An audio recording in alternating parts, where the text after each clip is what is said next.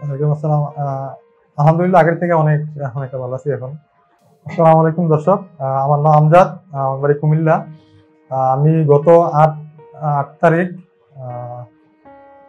April মাসের আট তারিখে ডিবিআরস হসপিটালে আসি। এর আগে আমার অ্যাঙ্কাইলোজিং স্পন্ডালাইটিস ধরা পড়ে দুই হাজার উনিশ সালে। তখন আমি অনেক ডাক্তার, অনেক জায়গায়, প্রায় তিরিশ চল্লিশ বার হবে জায়গায় সেরকম ডাক্তার। কিন্তু কোনো জায়গায় কাঙ্ক্ষিত কোনো ফলাফল পাই নাই। তো এবার মানে এই রোগটা অনেক দীর্ঘদিন থাকার কারণে সিচুয়েশন আস্তে আস্তে অনেক দিয়ে আরও বাড়তেছিল। যেমন আমি পুজোতে যাচ্ছিলাম তারপরে নড়াচড়া করতে সমস্যা হইতো শুধু হাঁটতে পারতাম না, বসতে পারতাম না। তো এমনি তারপরে একদিন দেখি যে ইউটিউবে যে শফিউল্লাহ প্রধান স্যারের এখানে দেখি যে সব ধরনের চিকিৎসা রোগ ভালো হয় বা এরকম সবাই সুস্থ হয়ে যাচ্ছে। তো ভিডিও দেখার পরে আমি গত আট এপ্রিল এখানে এসে ভর্তি হয়ে স্যারকে দেখাই। স্যার আমাকে আশা দিল যে ইনশাল্লাহ আপনি থাকেন এখানে। ট্রিটমেন্ট নেন, ভালো হবে। তো ওই ইয়াতে উপর বিশ্বাস রেখা এখানে ভর্তি হই। আমি আজকে এক মাস চার দিন হলো চলতেছে এখানে। তিন চার আগের থেকে অনেকটা ইমপ্রুভমেন্ট হয়েছে। এখন আমি সুযোগে হাঁটতে পারি, আগের মতো প্রতিভাবটা নাই। তারপরে বসতে পারি নড়াচড়া করতে পারি। আমি প্রথম যেদিন মানে স্যারকে দেখাই স্যার বলছিল যে শক্ত হয়ে গেছে তো আপনি ইনশাল্লাহ সুস্থ হবেন, কিন্তু সময় লাগবে। তো আসলে স্যার যেভাবে এই ট্রিটমেন্ট দিচ্ছেন বা থেরাপিস্টটা যেভাবে অনেক আন্তরিকতার সাথে চিকিৎসা দিচ্ছেন ইনশাল্লাহ, অনেকটাই ইমপ্রুভমেন্ট হয়েছে স্যার স্যারের কথা রাখছেন আসলে এখানকার হসপিটালের এই মানে পরিচালনা সবাই সব স্টাফ থেকে শুরু করে সার্ভিস সবাই এখানে খুব আন্তরিক, যেমন নার্স থেরাপিস্ট তারপরে সুইপার ক্লিনার সবাই খুব আন্তরিকতার সাথে এখানে কাজ করে।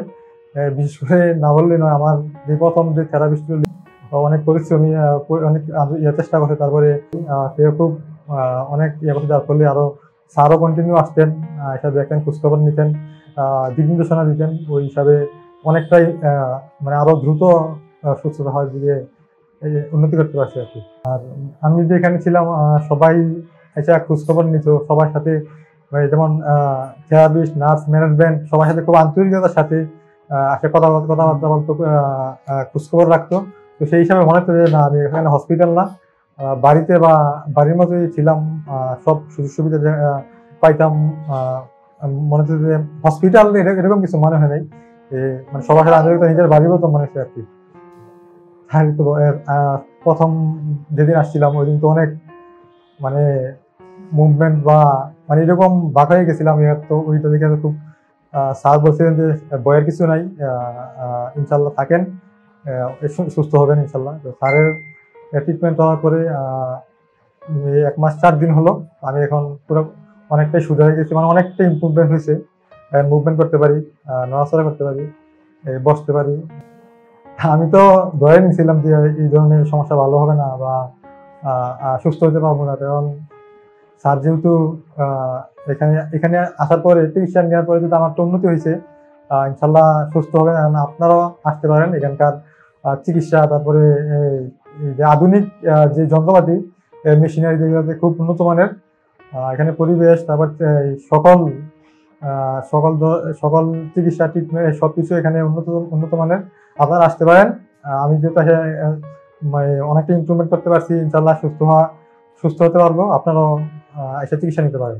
আমি এখানে আসার পর অনেক রুগী দেখছি। প্রায় এই এক মাসে আমি প্রায় পনেরো বিশ জন রুগী আমার চোখের সামনে দেখা। ওরা আইসা এই পাঁচ, দশ দিন, পনেরো দিন, বিশ দিন থেকে অনেক সম্পূর্ণ সুস্থ হয়ে গেছে। এদিকে আরও আত্মবিশ্বাস ফিরে আসছে আমার, মনে হল যে না, আমিও ইনশাল্লাহ সুস্থ হয়ে যাব।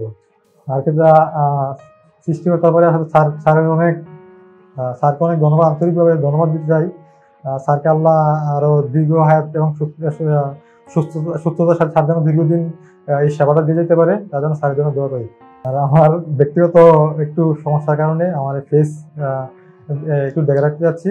আপনারা কিছু মনে করবেন না। আমার জন্য সবাই দোয়া করবেন। আসসালামু আলাইকুম। আমরা জানি আপনার প্রিয়জন আপনার জন্য কতটা গুরুত্ব বহন করে। প্রপার ডায়াগনোসিস কনসালটেশন পেইন ও প্যারালাইসিস চিকিৎসা, পুনর্বাসন আমাদের সব আয়োজনে সব সময় আপনাদের জন্য চব্বিশ ঘণ্টা খোলা। আমরা চাই না আপনারা বারবার আমাদের কাছে ফিরে আসুন তবুও আমরা আছি সব সময় সর্বদা আপনাদের পাশেই। ডিপিআরসি হসপিটাল লিমিটেড আস্থা বিশ্বাস ও নির্ভরতায় অবিচল।